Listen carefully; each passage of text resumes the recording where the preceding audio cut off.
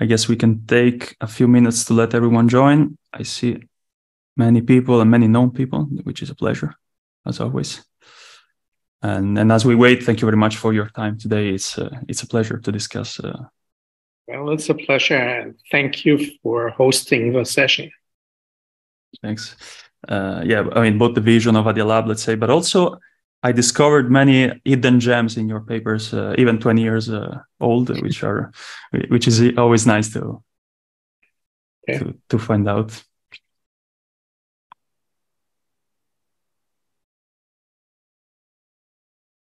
So yeah, I mean, while we wait everyone joining, I guess I can once again uh, read out the, the statement of this webinar, uh, which is about the, which starts from the multidisciplinarity of uh, Adia Lab, let's say, and how uh, this uh, multidisciplinary perspective uh, uh, has something that has to do with big data, and uh, and then we arrive at your research field, which is the use of not only artificial intelligence that's heard everywhere nowadays, but it's also about the use of high performance computing and high dimensional linear algebra to solve problems yeah. associated with this quantitative description of such systems.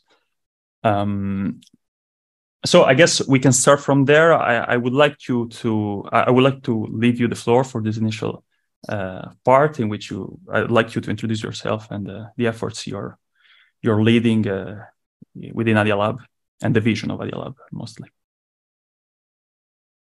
Thank you, Matteo, and good afternoon. I'd like to welcome all the attendees. And I'm quite sure that many of the attendees are current participants in the current data challenge that CrunchDAO organizes so ably for uh, Adia Lab. So I want to say thank you for your participation. Thank you for your enthusiasm. And I want to wish you greatest of success and big inspiration and great algorithmic prowess that you can get the best solution and hopefully win part of the prize pool. Uh, so I will come back to this competition in a minute, but let me first say a little bit about Adia Lab. With that, uh, the lab was started about six months ago in December 22, and I started in January 23. So uh, what we've done so far here at the lab is a couple of things you've seen, but in terms of the actual research, decide, decided to focus on three application areas and two basic technologies that are important. The three application areas are climate, health, and uh, digital currency, uh, so central bank uh, currency, uh, CBDC, and uh, then use basic research in high performance computing and AI to enable these type of applications. So uh, Adia Lab is therefore a very much application focused uh, lab. And I would say that my history in the US National Lab System is that we always did mission driven basic research. That is, it is important to solve a big problem and fo- keep your focus and your eye on the big problem. Uh, but do try to solve this problem with tools of basic research. Mm-hmm. So when people hear research lab, they think, oh, I'll come in and sit at my desk and think about what I'm going to do today. But that's not, we are there to solve uh, some of the big and challenging problems.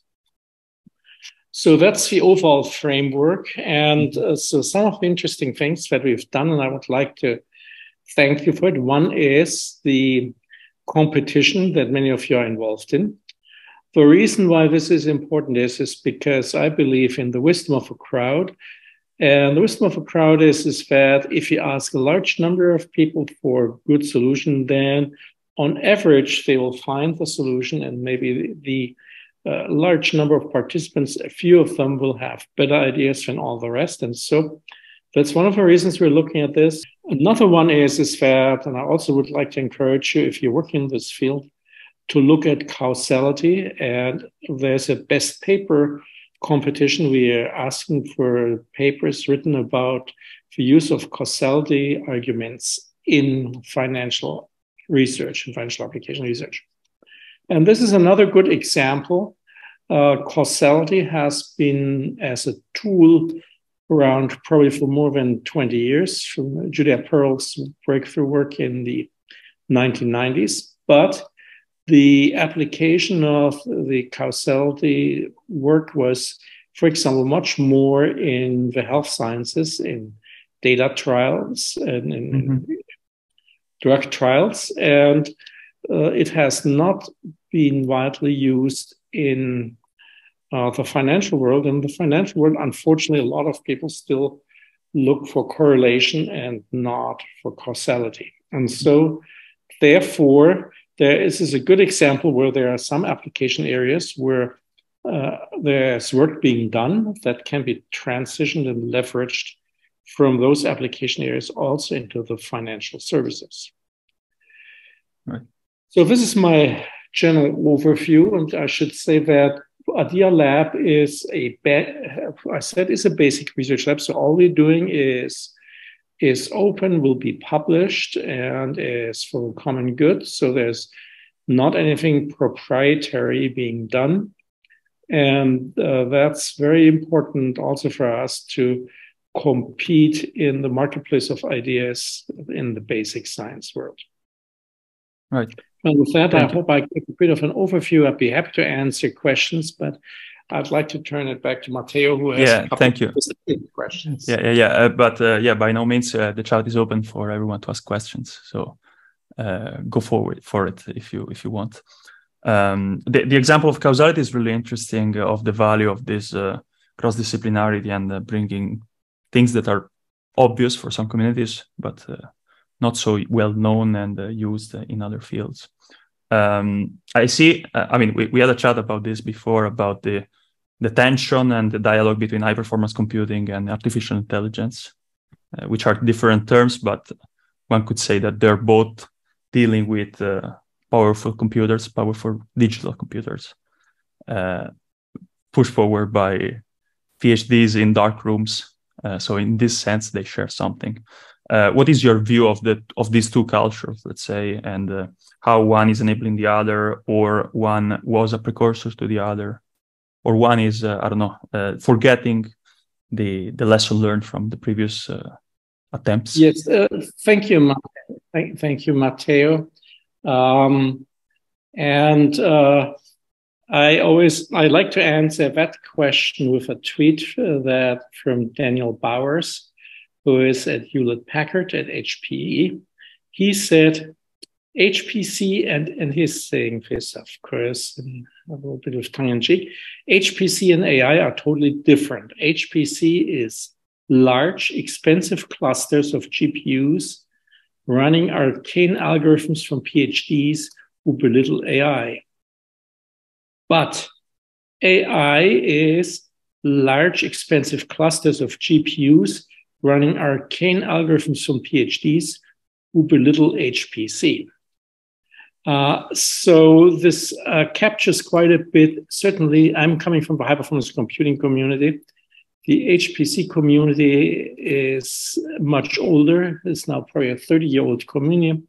They look at AI as for newcomers to rediscover many things that have been done in HPC long ago.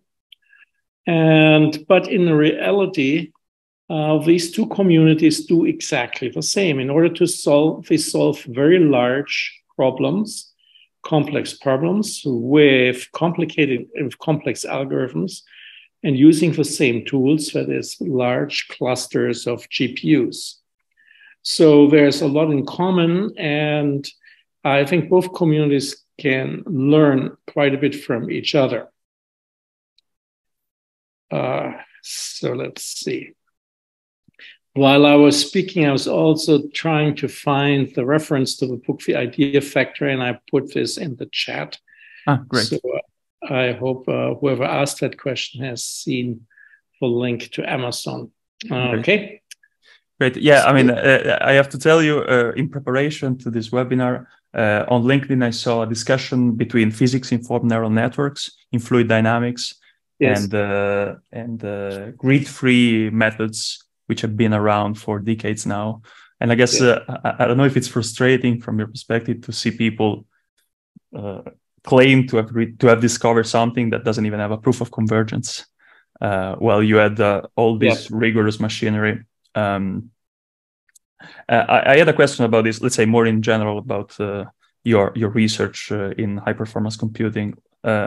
how you kind of mentioned this in saying that the, the goal is really high, but the research is really fundamental. But how does this uh, uh, structure the daily the day to day work uh, at uh, at an institutions like uh, Lawrence Berkeley or now Adia Lab?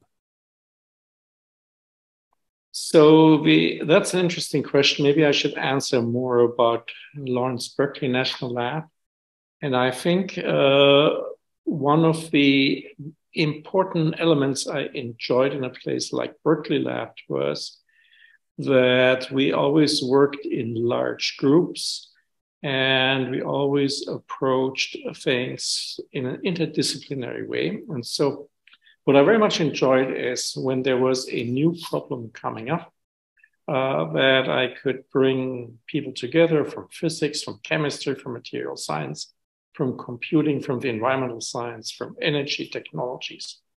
And they're all working on these problems together.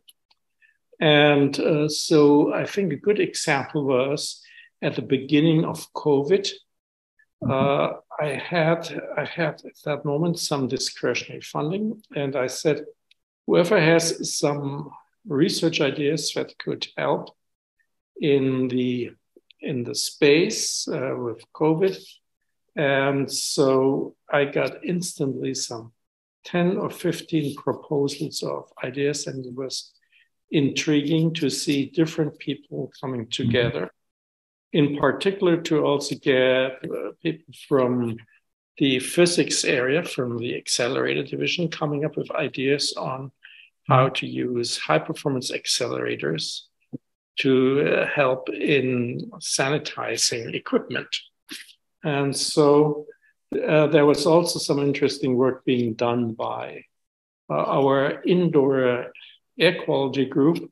And this is obvious, and that they jumped on this is that they we have an air conditioning simulation or a internal air simulation room where you can build an office and do measurements. And then they were doing some measurements and using that equipment for trying to understand the behavior of the uh, coronavirus in an indoor environment. And so, what I'm really intrigued is uh, bringing different people together for solving uh, problems in an interdisciplinary way.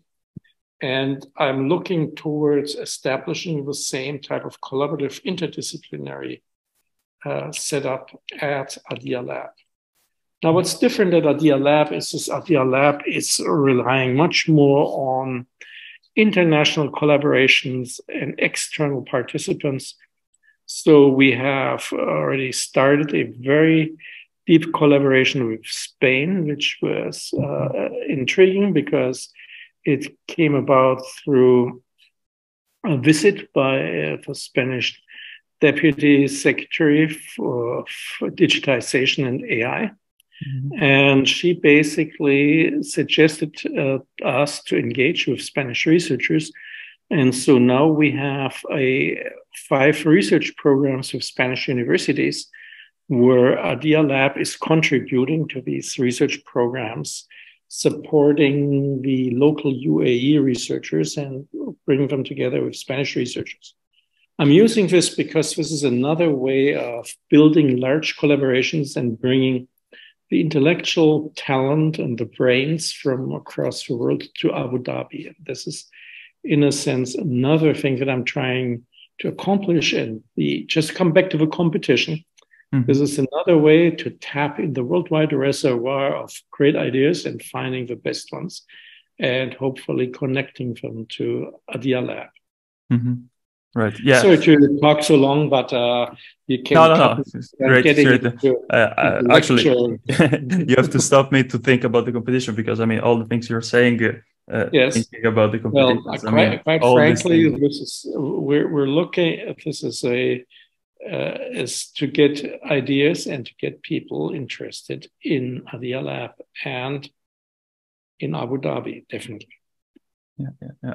yeah I encourage everyone competing. Uh, I'm sure, let's say that this, this multidisciplinarity, these uh, uh, different approaches uh, that uh, is reflected. Let me talk mathematical, yeah. but in the orthogonality of the submissions and in the and the value that his originality has from a mathematical perspective. But I'm sure that this is caused by some different backgrounds. Uh, I'm uh, many people in the community are not from uh, don't have a finance background, and as you and as you should with the causal inference example, these backgrounds can be helpful for finance for sure.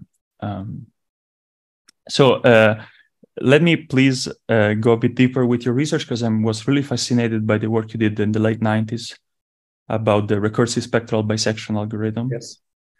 Uh, and I have to say that I have to anticipate to this the fact that uh, years back, months back, I was really interested in operator linear operator theory in the understanding of chaotic dynamical systems, and uh, so I, I, bring with me this uh, this this fascination for uh, linear methods, li- a linear framework for for strongly nonlinear and high dimensional problems.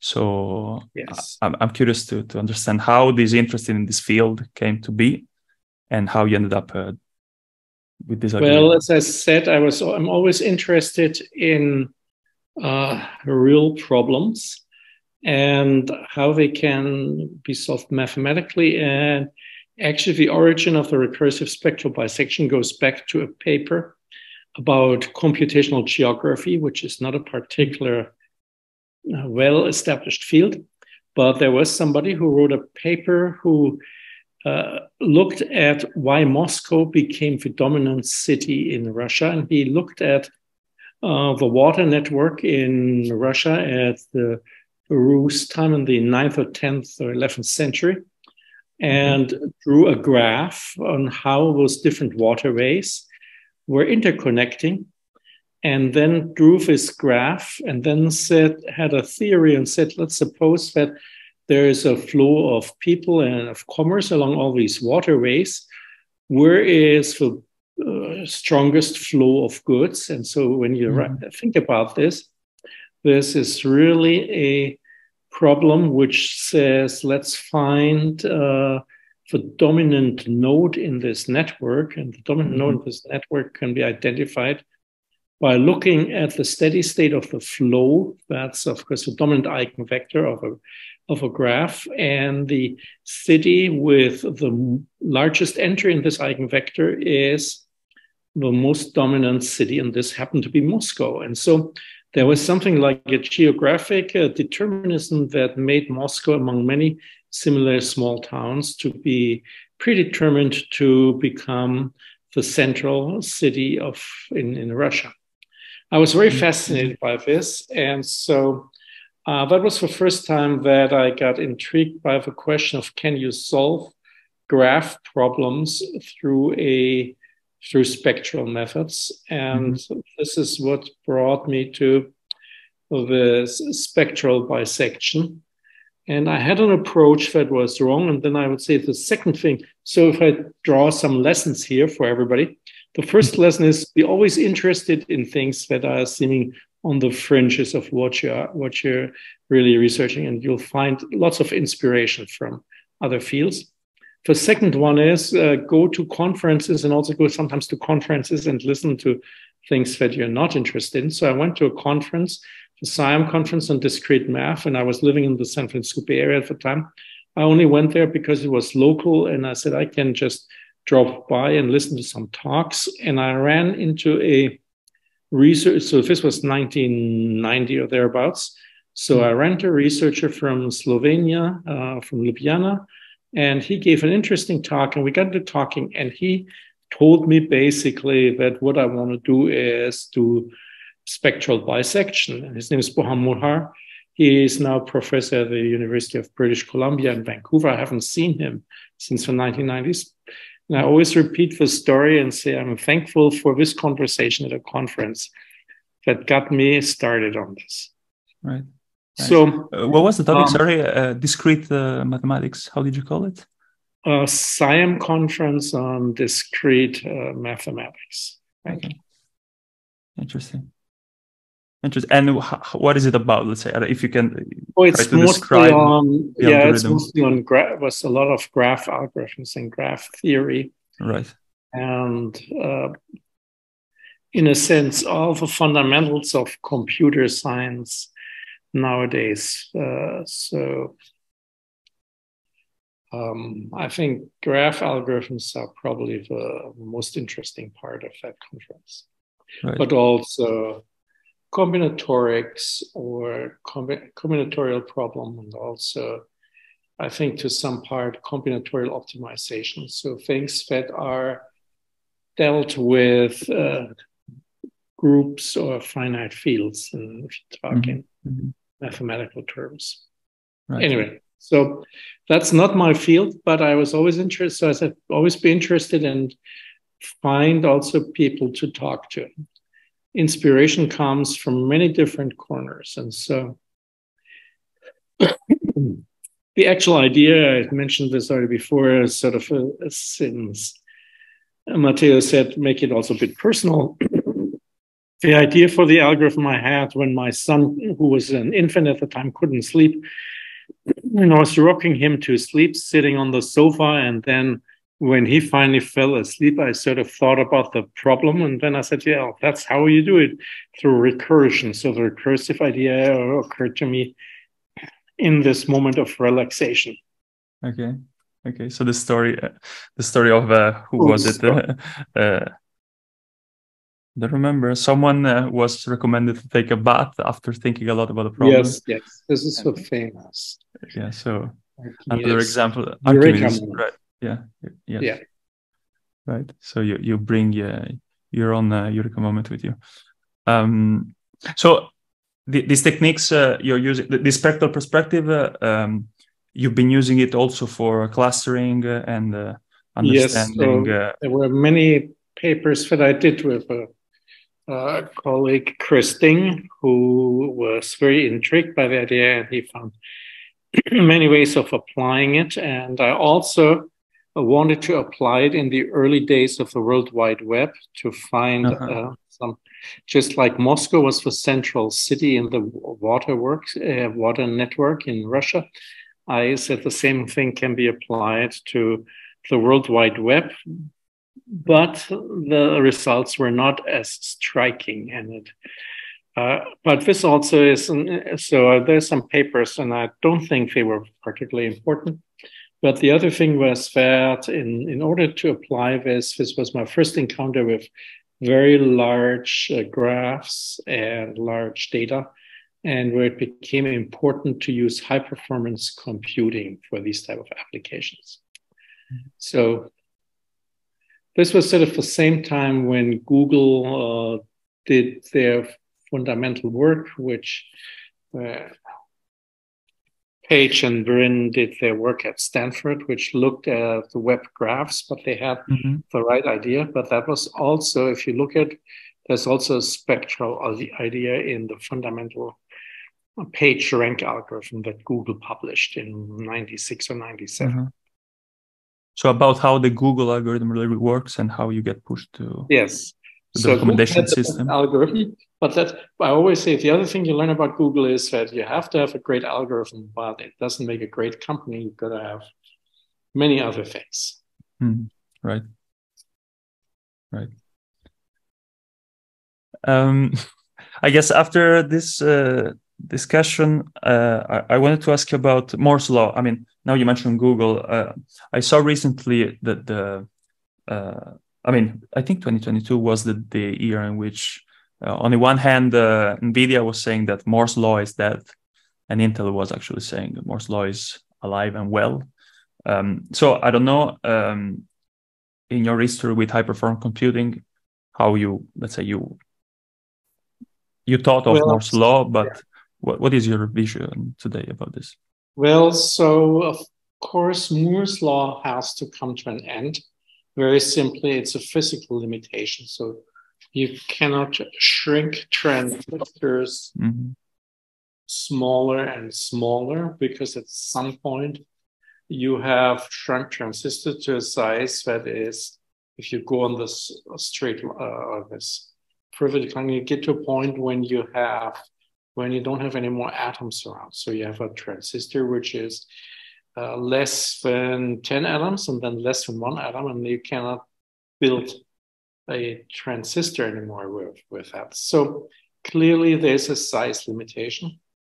But then there's also a cost limitation and a manufacturing limitation. And this is what we've seen already in the current uh, semiconductor world, but it's becoming more and more expensive to build large semiconductor manufacturing plants.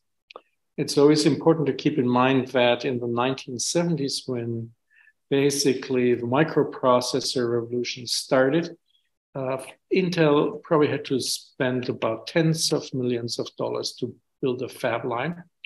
And now we're in a tens of billion dollars. So it's a mm-hmm. factor mm-hmm. of a thousand uh, increase in cost for building state of the art manufacturing. So, uh, how much more this, this capital, high capital cost is something that is also deriving the uh, CHIPS Act in the US and other investments into uh, developing new technology and developing better manufacturing capability.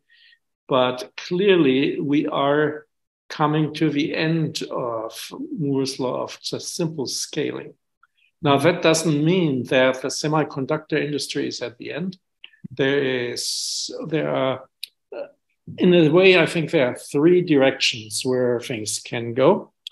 One direction is architecture, building better architecture. And this is where GPUs come in because GPUs are building changed the fundamental architecture of chips and build it these large many core chips that can do certain applications.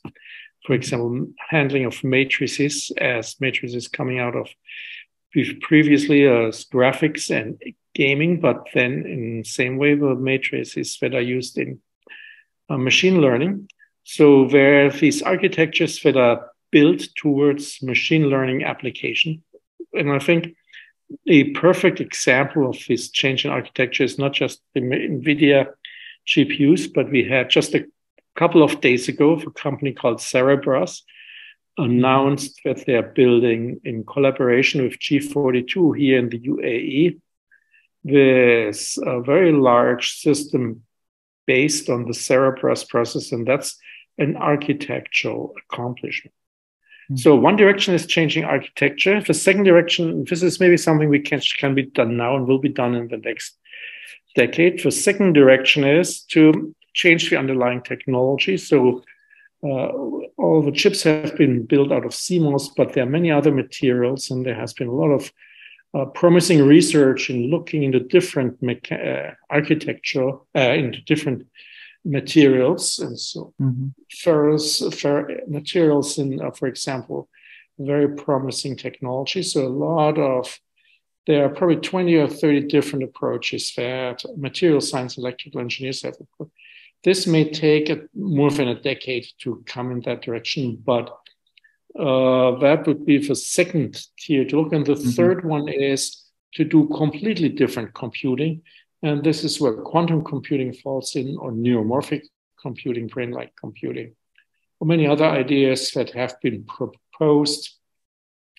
to do different computing technology altogether. And this may take more than 20 years to reach mm-hmm. maturity. Right. What is the second example you mentioned of non-digital uh, computing? Uh, pardon? You mentioned after quantum computing. Uh, quantum ne- neuromorphic, that's brain-like computing. Okay.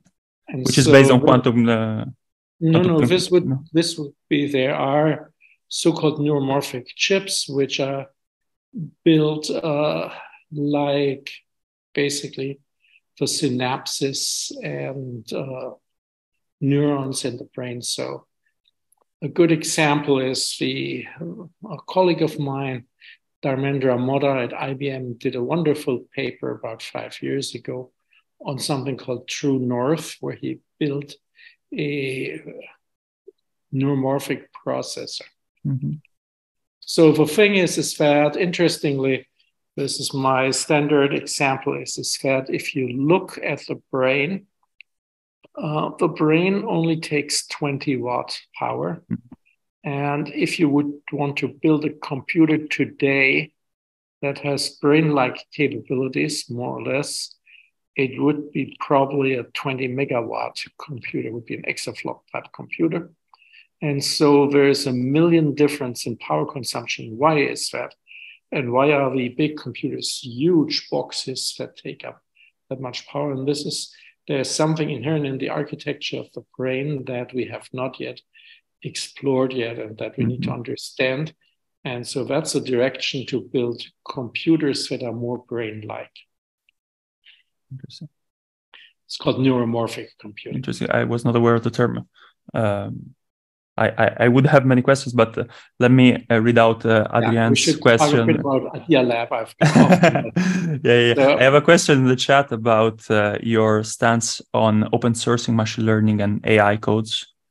How could it drive? Well, I am an open source supporter, a strong supporter. I think uh, for some for several reasons. One is, is that in the philosophy that I think here, that we'd like to have the best ideas participating, having a community that can look at a code, and the community will, in aggregate, make the best improvements and will deliver the best technology. That's one. And the other one is, is that we also need to have transparency. We need to understand what is going on in these codes.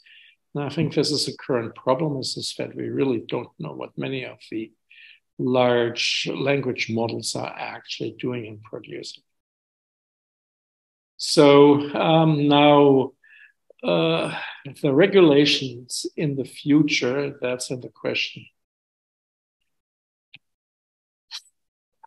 I'll pass on this. I'm not an expert on AI regulations. Generally, I think that um, there is a point in having regulations for safety, and we definitely need to think about that aspect of it. But I'm actually not an expert.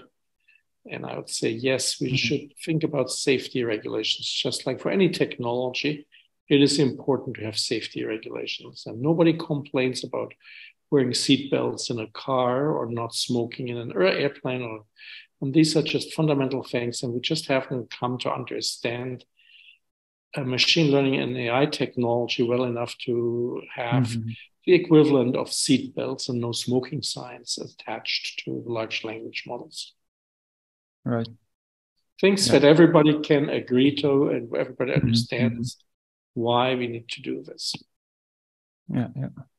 And also, it seems to me, I mean, now this is a big topic because of, as you mentioned, large language models, but even the recommendation systems of uh, something like Google or uh, social media like uh, Twitter, for example, uh, uh, it, it, there is something in the algorithm that uh, could be valid, that is powerful and could be yeah be associated with safety. I mean, I guess this is a discussion going back since the, the, the start of the web? GPUs versus FPGAs. And I think the FPGAs have always the versatility argument that's true, but they are not as well performance tuned as GPUs. This is the. Could you maybe give two words about FPGA for people that don't know? FPGA as field programmable gate arrays. So this is basically the notion that you can configure the hardware to do certain things the way you'd you can program the hardware. And this is of course the element of versatility, but you always treat trade off versatility and performance. And so the FPGA performance just but has gone up, has never been able to catch up with the special purpose machines like GPUs. And yes, there are many applications where FPGAs are perfectly suited, but in a mass market, and so the advantages is that GPUs have opened up a mass market for themselves. You can get more innovation and more performance quickly out of for special purpose than out of a general purpose approach. Right. And about these choices of architecture, I mean, I was uh, reading about analog computers. Uh, did you ever encounter analog computers in your research? And uh, not in my research, but I had an analog computer when I was in the military. I was in the artillery, and we uh-huh. had this old box, which was really a mechanical calculator, which uh, computed uh, the how you had to adjust the art of the cannons basically right. uh, so to get on target and this was really an analog computer because it had some dials and uh, uh, displays which were just like old odometers. And so uh, i don't actually know how they work but uh, no i have not worked with analog computers but i'd like to think of um, actually the biggest potential of quantum computers in something which is akin to analog computing because the quantum simulation is probably the biggest potential for quantum computer. And unfortunately, that has gone a little bit in the background. By quantum simulation, I mean is you build a quantum computer to simulate quantum systems. And Mm-hmm. My favorite example where I'll try to uh, illustrate this is there's something called orreries, and you may have seen this. This is what astronomers built in the 17th, 18th, and 19th century. These are these uh, systems of little balls and wheels, and they were simulating, for example, the motions of the planets and the moons in the solar system. So you were turning a crank and then you could see how the planets were moving and you could compute uh, uh, their alignments and and and so what you had so the same way a quantum simulation should simulate the behavior of complex molecules at the at the basically quantum level mm-hmm. and uh, this would be an analog computer really and so I have not heard much okay. effort being put into quantum simulation, but I believe that quantum simulation might be the most promising application for quantum computers because we could for because then we could simulate quantum systems much more effectively and this is still one of the big uh, promises of quantum computing that you could uh, find uh, this whenever you ask a quantum computing enthusiast, they say, oh, we can solve the energy problems because we know how to build, fixate nitrogen and we can find a better way mm-hmm. of uh, building, of creating fertilizer or uh, building better batteries. And so, yes, that's all true. But uh, I think what's missing yet is so, anyway, this is just another thought that I have and I could debate with Right. So I'm veering off too far off topic. So let me come back to Adia Lab. What does it all have to do with Adia Lab? And I think, let me just put this back in and just say that we just had a short announcement since I'm talking about quantum computing to work with a quantum computer company, Rigetti. And uh-huh. so Adia is exploring to use the use of quantum computers for doing um, some uh, financial applications. And so we want to identify uh, sort of a what type of uh, probability distribution is underlying a mm-hmm. process. And so, uh, and uh, Alexei, uh, who is mm-hmm. doing this, Kondratyev, he, he believes that he has a the right quantum algorithm to solve this fundamental problem. And of course, if you can solve a fundamental problem on a quantum computer that you can't really solve on a traditional digital computer, then you would have quantum advantage. So we're chasing, like everybody, under quantum advantage, but I think this is a perfect example why we want to look at uh, advanced technologies like quantum computers to understand how they change our what is possible in finance or in other applications. Right. Let me. I was taking a second to put the link of the book by on quantum. Let me see the title: Quantum Machine Learning and Optimization in Finance. Yes. On the road to quantum advantage. that's probably of interest for yeah. uh, for people yes. listening. Um,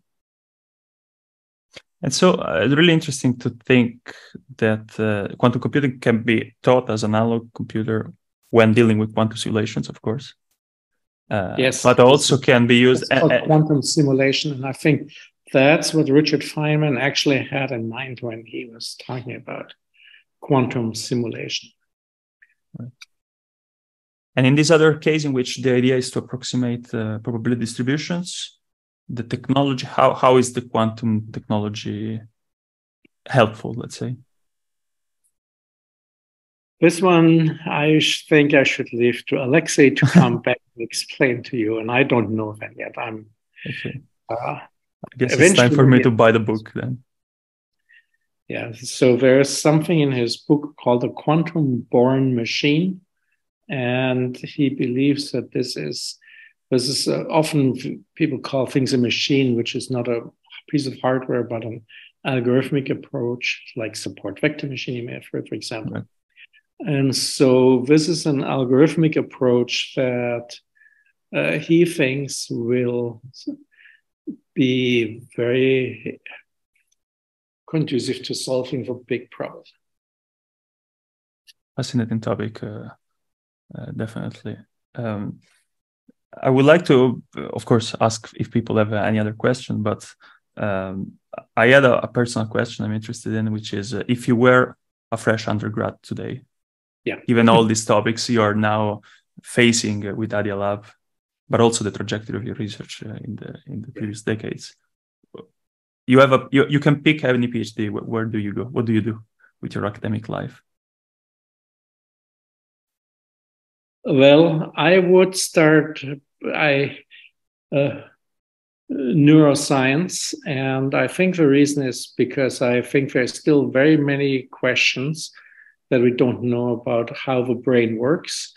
And I think there are at least two topics immediately derived from this that we have already discussed. One is, is that, uh, in a sense, the question on um, how can we build, can we use, if we, we understand the brain better, can we build better computers? I mentioned, talked about this.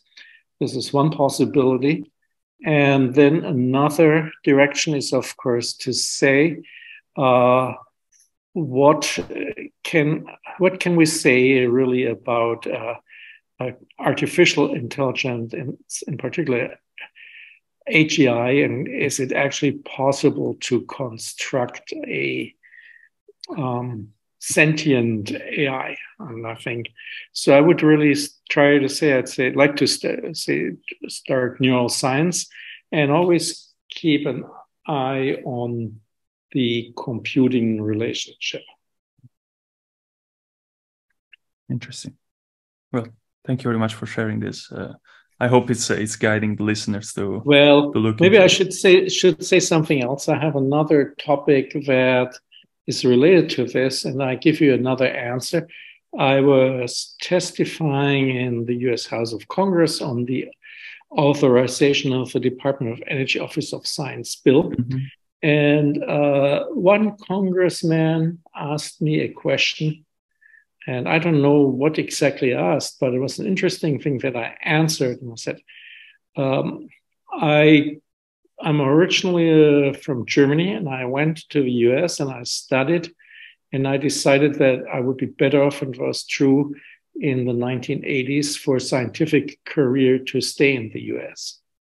And I told the congressman, I'm not sure today if this is true certainly in my field, I think that there is a much more even play field in the world. And so I don't think that it was, I would say, I would find again as a foreign student as an important for me to study in the US. Now, this is, I think, and I think when I say this to maybe many of the, I don't know where in the academic career of the listeners in this webinar are, but I think uh, what I'm saying here is, is that uh, in many countries have made huge investments in science, and in particular, I think in the EU is the gap between Europe and the US is very much uh, closed in many fields. And so um, I think if you, it's not the field, but if you're looking for where to go, you can find uh, very great education in many different places. Thank you. It's also all technology is easily accessible and all the information is on the web. And so there are no longer these barriers that existed before. Mm-hmm. You can talk famous professors using Zoom, so there are no barriers really. Uh, indeed, indeed. Well, once again, let me ask for people if there's any additional question. But uh, in the meantime, yeah, there like was to... a question about the quantum computing book. So I think Alexis. Uh, yeah, I put the uh, name of Alexis. It's actually yeah. very, it's I wouldn't say it's a beginner's book, but it's a very accessible book. Mm-hmm. And probably with the references, you can then navigate yeah. a bit. And, uh, once again, the graph and look for the for the beginners. Well, I guess I can thank you for your time. It was a pleasure discussing these topics. Uh, Great. I always like to talk about these things, and yeah. we haven't really gotten to my favorite topic. And which is favorite, now now my favorite topic is I firmly do not believe that it's possible to create an AGI. I think that whatever we call intelligence is a human uh, trait that we have not understood yet. So I don't expect any machine that is based on some large language model to have anything like, uh, even if we scale to hundreds of billions or trillions of parameters, we're still not going to get to the core of human intelligence. And if somebody says why, then I say a very simple answer here it's chemistry. It's because what uh, computers are building is an uh, electric uh, electronic model but the human brain is to a large extent chemistry and so just think about chemistry the next time you drink a cup of coffee or drink a glass of wine and your thinking and your personality may change and that's not happening with a large language model because they cannot drink a cup of coffee or a glass of wine or take serious drugs. And it's all chemistry. And so I think we need to build probably different models if we actually. So there are many other arguments, but that's my simple argument for chemistry argument. Right. So even the other non digital computers you mentioned that are inspired by the brain structure won't be enough still. Yeah.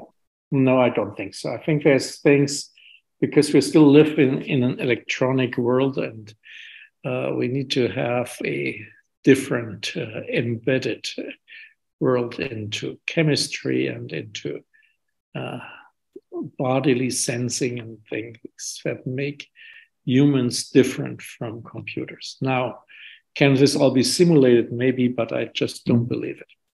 I think there's an essence that we don't know yet. That's why I also go back to the question what uh, to uh, what to study. That's why I think neuroscience will mm-hmm, at this mm-hmm, moment mm-hmm. be the most intriguing thing.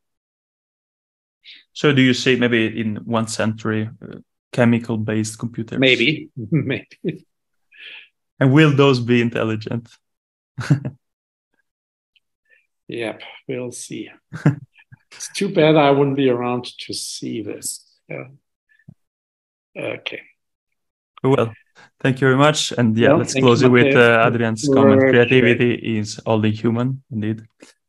And uh, thank you everyone for joining and uh, have a nice rest of the day. Thank you. Have thank a good evening much. and good luck in the competition. Find the best algorithms. yeah, good luck, everyone. Bye bye. Bye bye.